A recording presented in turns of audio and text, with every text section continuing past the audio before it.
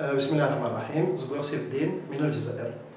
أنا ضد فكرة تدريس الدين في المناهج التربوية. لماذا؟